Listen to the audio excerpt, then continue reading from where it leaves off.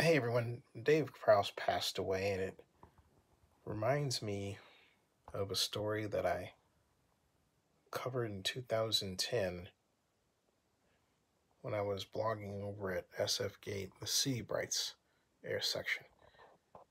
And I broke this Star Wars Dave Prowse banned from Comic Con Star Wars Fan Days.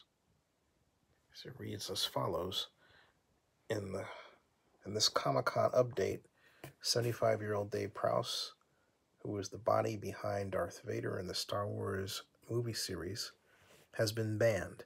That's right, banned from Comic Con's Star Wars Fan Days, as his Darth Vader website put it. And that language is no longer there, by the way. It is with regret that I have been informed by my friends at C2 Ventures Ben and Philip that I am not to be invited to C5 this year or any other Lucasfilm associated events. After inquiring, the only thing I have been told is that I have, quote, burnt too many bridges between Lucasfilm and myself. No other reason given. I have also been advised by the promoter of Paris Manga in September that LFL have requested no photo opportunities with the 501 Squadron, even though I am commander and chief of the 501. Sincere apologies to all my fans who are hoping to meet with me. I shall miss you too. As you will see from my events page, I will be, be at many conventions all over the world so we can still keep in touch. And then I wrote, an actor Dave Prowse Facebook page explained the Comic Con information in more detail.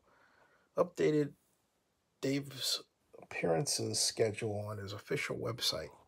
Dave is not appearing at Dragon Con, Chicago Comic Con, Star Wars Fan Days, or the shows in Glasgow and Montreal. Dave is added new shows, including his rescheduled trip to Turkey. And then I wrote, wow, curious to know just what Darth Vader did to burn bridges with Lucasfilm. Speculation runs rampant, and Lucasfilm's not talking. But this comment over at blaster.com was provocative. When it comes to burning bridges, I assume that Lucasfilm wouldn't be very happy with the story I've heard Prowse tell a couple of times along the lines that he thought he was going to do the voice of Darth Vader, and that James Earl Jones was only hired to appeal to appeal to the black audience. I think Prowse walked back from that a bit later on, but maybe he's been taking telling accusatory versions of it again.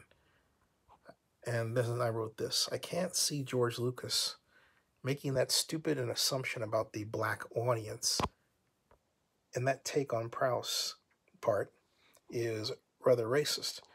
My insider information is that George thought he needed a more menacing voice than this one.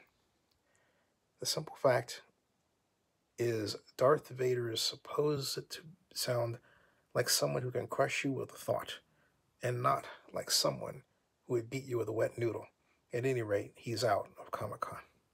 Stay tuned. So there's the story, folks um, straight from uh, 2010, July 15th, when I was on SF Gate City Brights as a blogger, and still owns Zennie62.com, now Zennie62 Media. See you later.